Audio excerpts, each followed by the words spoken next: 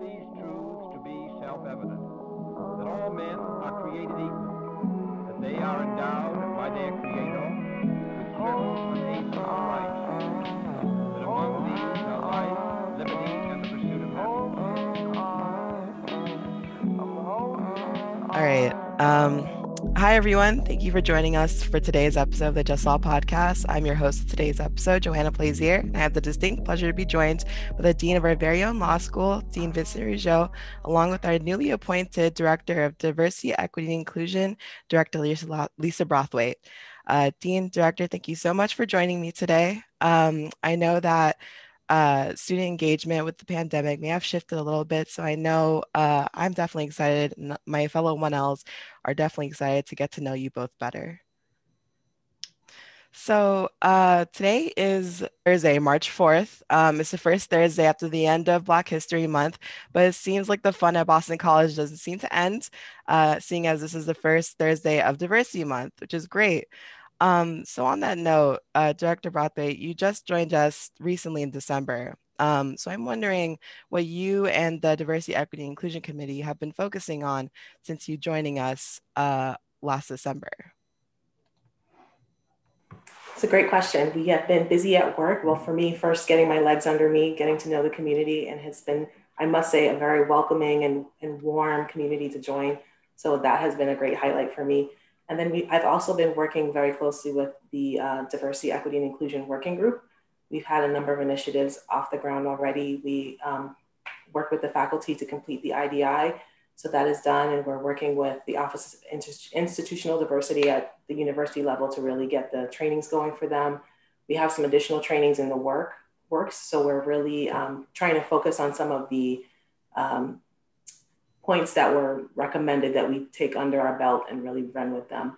I've also been working with the LSA's DEI committee, um, bringing Professor Yoshino to campus for the very, very great covering talk that we had um, last week, which was wonderful. Um, I think it was very timely also um, as we think about where we are in this particular political climate. Um, I've also been working with Lohanis to support them in their different initiatives and also some various conversations about what the structure looks like and possible changes or iterations to it going forward. So it's been a busy couple of months, but all all great things that were happening. Sounds like it, uh, which is great. I'm glad you got into the position and just immediately got to work. Um, and I will say, uh, I've only been at the law school a teensy bit time uh, more than you, but I've seen I tuned into the talk, uh, and it was great. And as you said, extremely timely, uh, especially considering that uh, race relations have taken a spotlight with uh, the protests of last summer or the insurrection in January where a Confederate flag was shown for the first time, or even the racially charged um, hate crimes against Asian Americans since the onslaught of the pandemic um, in our country. So my first question is directed to you, Dean Rougeau. Um, are these events surprising to you, both as a lawyer and a person of color residing in the United States? Well, uh, I will say that the the insurrection and the storming at the Capitol was surprising to me. I I don't think I ever imagined seeing something like that happen uh, in this country in that way. Uh, and it was really deeply disturbing and, and, and frightening to me to see. Um, I was watching the television. I was watching it in real time with my kids because we were uh, wanted to watch the uh, the uh, certification of the election results, and then to see that happen during that, uh, you know, what is normally a relatively, uh, you know, procedural event, uh, was was was deeply upsetting to me. Now, to the other part of your question, as a person of color, am I surprised that this kind of hatred and vitriol and antagonism uh, came out in this country? Well, unfortunately, no, I'm not surprised. I know that that's always been uh, embedded in our culture. Uh, I think uh, I probably thought that it was a little more contained, uh, a little more uh, repressed, but clearly over the last four years, um, it's been unleashed in ways that have consistently surprised us and terrified us and uh, shamed us as a nation. Uh, so, but to see it escalate to the point where our capital was taken over by, you know, a mob was, was, deeply, deeply disturbing. And to now see, to your other part of your question about lawyers, uh, lawyers who even during the event tried to pretend what was happening wasn't happening, and now after the event are trying to apologize for, justify, or pretend again it didn't happen, uh, is sickening. So, uh, you know, it's it is a time of real uh, distress uh, for all of us in, in many ways when we see that. But I'm also hopeful that there are more people of goodwill who are trying to make sure that this never happens again. Absolutely. Um, I will. You said it. You summarized it very uh, quaintly. That it was definitely abhorrent. Um, all these events, and it's surprising to see that uh, leaders in the legal community, which should understand the legal implications of events like this happening within our country, um, not even outside of the social scope, or refusing to recognize it. But as you said, uh, we are in a place where we can grow, um, which leads to my next question to you, Director Brathwaite. Um, as our director of DEI, is there anything that you've noticed specifically with these events that you've wanted to change or any initiatives that you wanted to undertake as a result of these uh, recent events? For me, the, the thing that I think is um, most important is for us to understand first that there needs to be a level of respect um, just as human beings and especially as members of a community that we're engaging and interacting in a, a, very common space so i think that that's the first thing and i think that respect is definitely resident within this community which is you know i think a, a solid place for us to start from. I think the other thing would be to have more honest and open conversations. Um, i you know i referenced professor yoshino's talk because i think it was timely in that it also included um, a group that's often forgotten in terms of you know white men being included as part of the, the conversation around covering, which I think is so important for us to think about um, because often people who identify as white are seen as other um, and being you know quote unquote the problem. But I think it's it causes us to look a little bit more deeply at who we are as individuals and realize that there you know there are places of power resident in all of our identities and really understanding that there's room for others to be brought to the table and introduced to the conversation so that we can better understand each other. And then along those lines, then we can have honest and transparent conversations where we can build allyship and really try to create a community that is um, not tolerant, but accepting and engaging for all members of it. Absolutely, 100%. Um, I really like, we all do come from places of power, most definitely. And I think it is with all the distinction between race recently, which ultimately just boils down to us being people. Ultimately, it just it's good to see that there is an initiative to, for us to all be on the same page. Most definitely, it's especially needed um, after the tumultuous couple of years we've had in this country. Um, which leads me to my next question. Uh, while you were on that topic, um, you say that the importance with us uh, all being on the same page and all coming from a place of power. Um, it seems like uh, it's kind of difficult as a non-person of color from what I've heard from my friends um, to try to reconcile with like and to provide support to people of color. So um, what can a non-person of color do to be supportive uh, during these times um, or of healing uh, for our country and our community? I think the first thing really is to acknowledge when things are not going well. Um, and, and in those spaces that you occupy, to really take a moment and interrupt some of the narrative that's happening in those spaces. Um, because it, it, may be a place where the person who's a person of color feels marginalized or attacked. So, as a person who does not identify as a member of that particular community, I think it's really important for you to interrupt the language, um, insert yourself try to redirect the conversation if possible, um, and try to, um, I guess I would say, uh, quench some of the, the language that may be um, inflaming the moment. Um, I think it's also important for you to let BIPOC, Black, Indigenous people of color, know that you see certain things happening. Let them know that there's a space for their voices to be heard and know that you want them to speak. You don't want to speak on their behalf because I think it's really important for us to realize that each group is going to be supported in a different way. And we want to hear exactly from them how it is that they want to be supported. Um, and I think the other thing you can do in doing those things is also to just become an ally, be supportive of them in the ways that they want to be supportive, speak highly of them in places that they don't have access to, and really understand that it is about community and it's about changing relationships so that you have that moment where you're able to connect with someone who you may identify as and speak to them about different perspectives that they may not be exposed to as a member of our community um, and really challenge them to think about why they hold certain perspectives and, and think about the ways in which they can then disrupt different um, scenarios in their spaces as well as they take that out of our community and into the world at large. Absolutely, absolutely. Um, the importance of perspective and experience cannot be underscored anymore, um, especially considering that's what pretty much uh, that's what pretty much defines who you are and what you bring to the table. Most definitely. Um, so it seems like the events of last year have really shown the importance of diversity on in all fields, but not just uh, the legal field, but professional, academic, and trade otherwise. Um, which has led me to notice that the legal field has a stark lack of diversity, um, specifically with African American and other Black individuals um, in the field.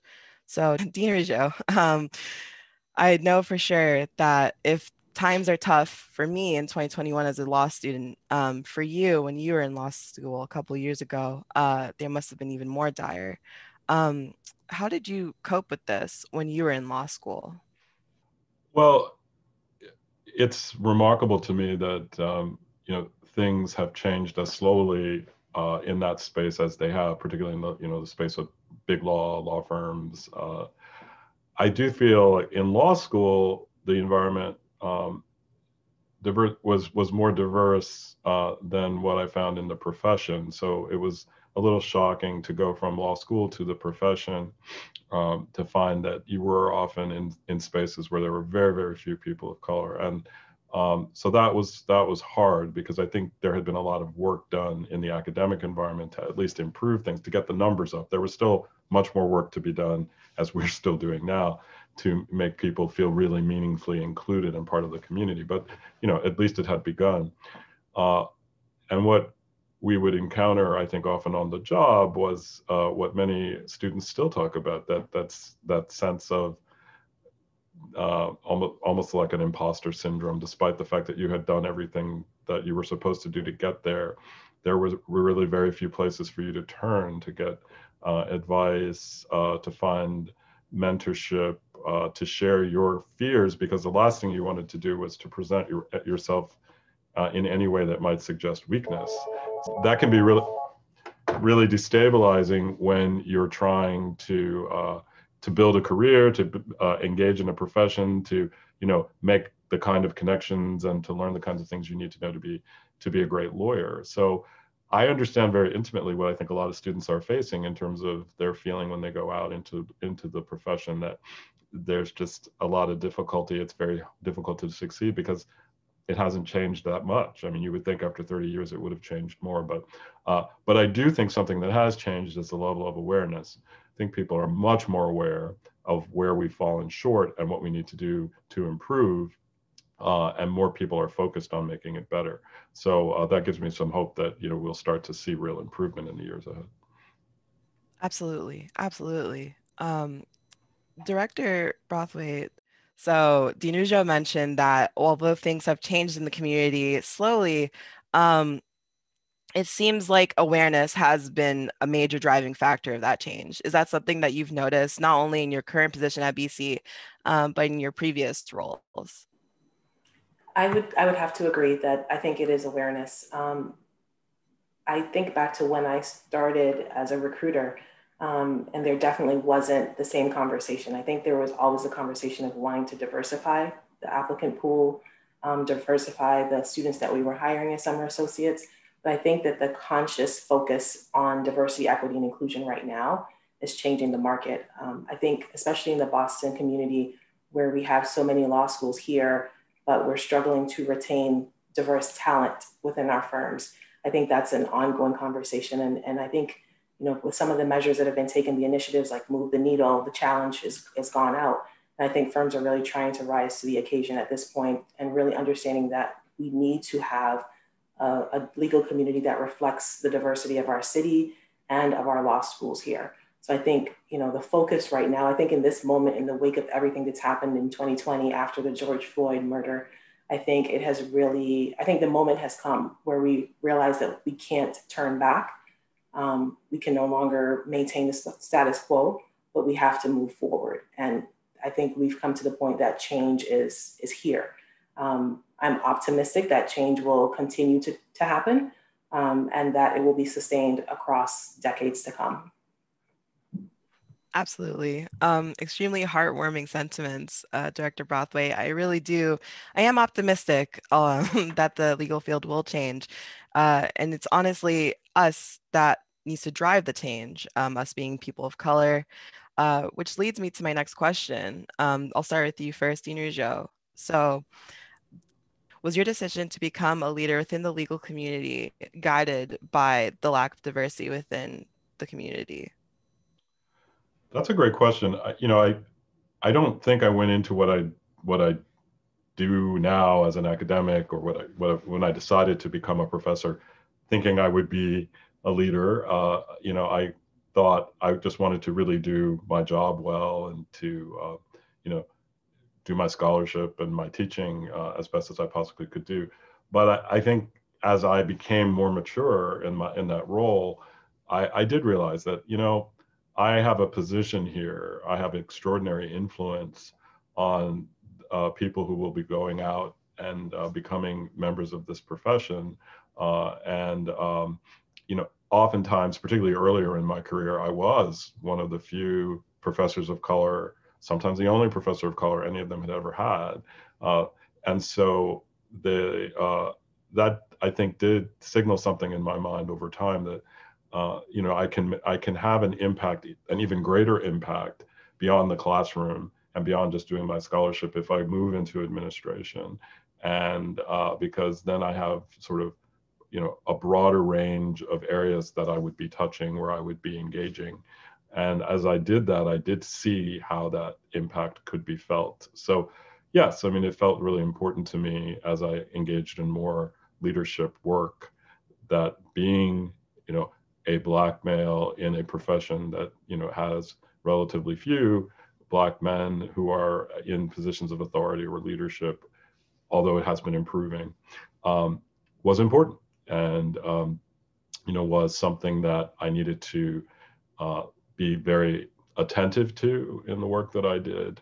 Uh, but for all kinds of reasons, not just to say, hey, you know, we can do this too, but also to say to people of all backgrounds, all colors, look at the richness that comes to an institution when people of varying backgrounds are allowed to be in positions of leadership to demonstrate the gifts and talents that they have and the ways that they can make change happen they can improve things and they can sort of you know enrich the mission uh, of the institutions that we lead. So you know it's something that evolves i think as you as you go through your career and you start seeing what what, what can be accomplished. Uh, and you know it's given me uh, an opportunity to do some things that i hope have have, have helped those behind me absolutely i love your emphasis on leaving a legacy most definitely extremely important uh, to carve a to carve a path for those to follow behind you Director Brathwaite, uh, same question for you. Um, was your decision to become a leader within the Black legal community affected by your background? Um, I think for me, it, it, really is an interesting journey, and my journey is still continuing. Um, when I started, I'll be honest, I thought I wanted to be an attorney myself. So I had planned to attend law school, um, but I wanted to get an inside look at what it was like to work at a firm before I made that commitment. And for me, it really came in working in a firm setting that I decided you know, I'm seeing what's happening here. The summer is the, the highlight of my year because I get to work with law students. Why not go into the schools and work with them? And it's there that I really found my niche in terms of wanting to give back to the students, like Dean Rougeau just mentioned, leaving a legacy, but really empowering the students to see what it is that they're being assessed on and what it is that they need to know going into these spaces so they can make the best impression and level the playing field for themselves. And that's really what I have been most passionate about in my career is understanding, you know, what it is to be on the other side of the table, hear the conversations happening in the higher end committee meetings, and really allowing students to know these are the things that are important to the firms. These are the things that you need to be aware of walking into the door and allowing them to feel empowered in, in themselves walking into these spaces and feeling as though they're not just being interviewed, but they're also interviewing potential employers to see if they feel like they are in a place where they belong and they can bring them their full selves to the company or to the organization and feel as though they're not just um, achieving professional goals, but also achieving personal goals. And they can show up every day and be confident in who they are. So for me, it, it really is something that I have grown into, but I have become more and more passionate about it as I have um, advanced in my career. I love that. I love that um, your background came from, or your drive came from a firm background. Um, I've only, I have a very limited experience with firms as a 1L, but uh, when, when I have interviewed, I have noticed that stark uh, divide between, um, you know, just those that look like me or those that are diverse like me um, and their presence within the law firm. Um, so on that note, you mentioned that you're a major driver of what wanted to bring you back to law school um, to talk to other students um, was to show them how they can be- put their best foot forward when speaking with a law firm, um, especially considering their background. Could you tell a a little more detail about what you mean by that? Sure. Um, so usually for me, it is a conversation, especially with uh, rising 2Ls, um, especially when I think about this particular part of my, my job having that conversation with them about what does it mean to work in a firm? What does it mean to be a person of color? Where do you find your places of power? Who do you find to be allies in these different places? You know, I think mentorship is a huge piece of it. But for a lot of 1Ls, you don't necessarily have a mentor walking in the door, but you need to know, you know, this is what you're evaluated on. This is the way that you have to present yourself. You know, the legal profession is very conservative. So I often steer them toward being conservative in their dress in terms of how they present themselves. You want to wear a suit. The finer points in, in, in terms of presentation, being your best professional self, I think are some things that, you know, as people of color or first generation students, members of the LGBTQ community, um, we're not often um, taught coming into law school. So those are the finer points that I'd like to touch on in terms of preparing a student to go into those spaces and navigate them effectively so that you want to make sure that you leave a, a lasting impression that's a positive one on the people that you're meeting so that they can see you in the future being a part of their team and someone that they can go to. You know, as the associates often said at 3 a.m., if you have a deal to close, they want to be working in that conference room with you. Absolutely. Absolutely. Um, extremely insightful. Thank you so much, Director Brathwaite, uh, Dean Rougeau. I have one last question for you, Dean Rougeau. Uh, just because um, I am, or the 1L or curriculum seems to be pretty strict across the country. Out of my own curiosity, uh, what was your favorite class uh, of 1L and why? I, I think my famous favorite 1L class, believe it or not, was the one I thought was the hardest and the one I thought I would like the least, and that was civil procedure.